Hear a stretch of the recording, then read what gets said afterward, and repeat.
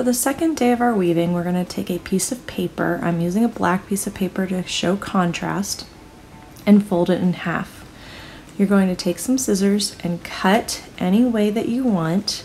This is going to create different wavy lines in your weaving. Make sure you don't cut all the way to the edge. Leave about an inch space from the edge of your paper and cut lines all the way down across your paper from the fold.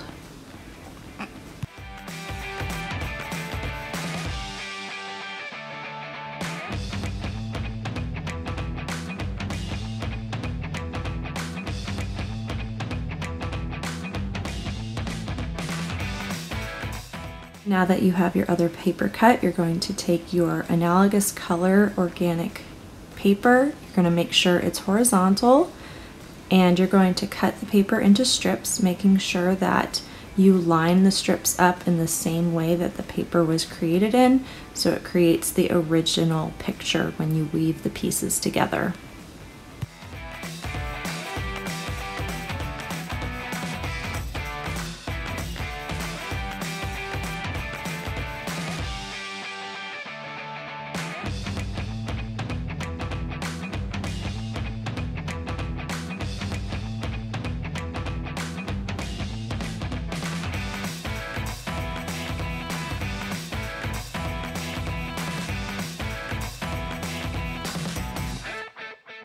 Now that I'm done cutting out each strip, I'm going to start by weaving. We're going to start over the first piece and go under the next piece, over the third, under the fourth,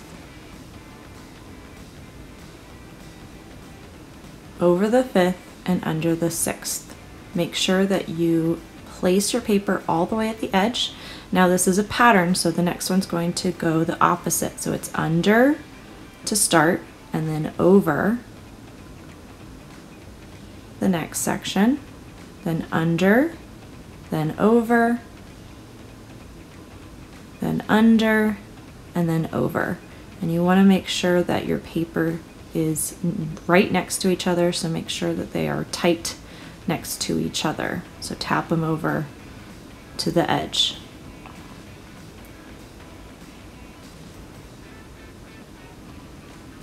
Line them up so that they go along the same width as the other paper. Now this one is going to start over because it's a pattern. So we did over and then under and now we're doing over again. Over, under, over, under. So it's creating a pattern to create the weaving and that keeps the paper together.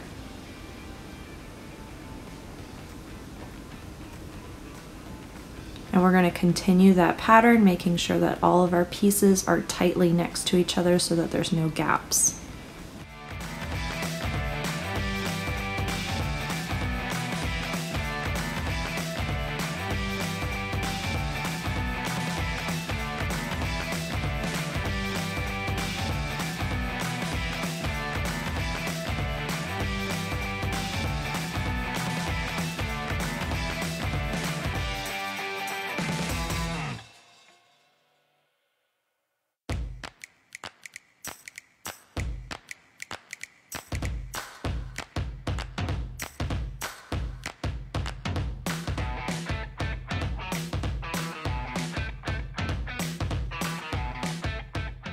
Now I'm done with my weaving. I have some extra pieces left over, but we, before we use those pieces, we need to glue down our strips of paper so that our weaving stays together. So I'm going to start on the front side. I'm putting a little dot of glue on each piece that is sticking up. Just one little dot of glue, making sure it holds it in place.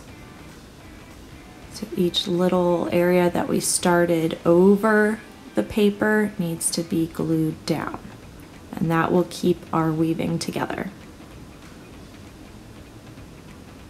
Once we're done with the front, we need to do the same thing on the back. So each piece that we started under needs to have the little part of the starting point glued down.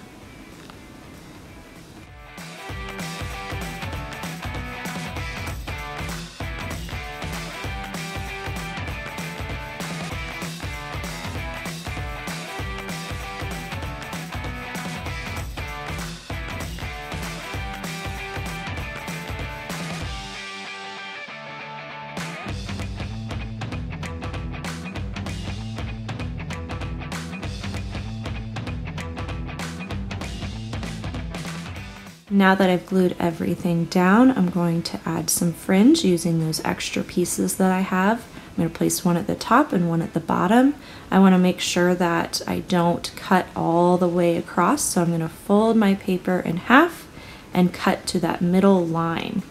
It's easier if you cut out little triangles. I started with straight lines, but later on went back to create little tiny triangles for the fringe so that you can see the individual pieces of paper rather than having them really close together. And you'll see in a second how I do that. But cutting to that center fold so that we can use that top piece to glue on the underside of our paper.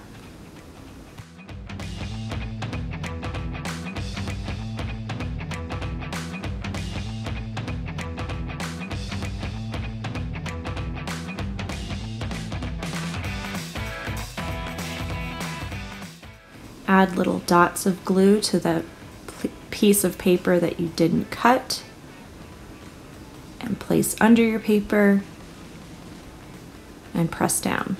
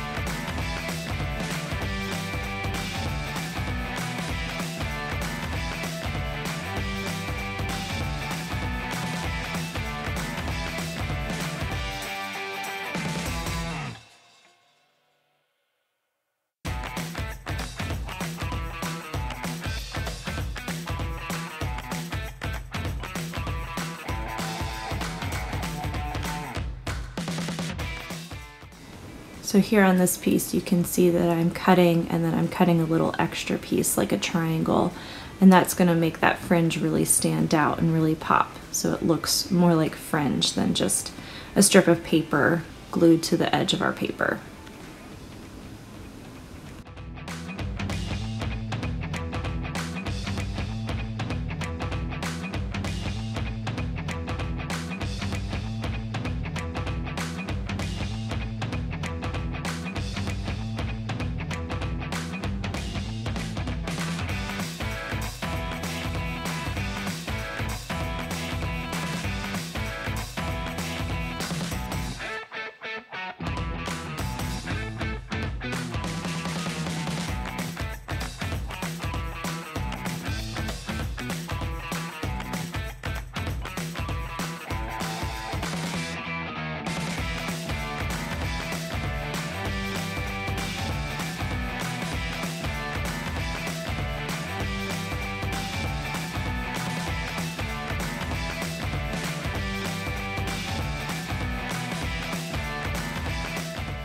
Here we have our finished paper weaving. I hope you enjoyed this lesson. I can't wait to see your final products. Thank you so much. We'll see you next time.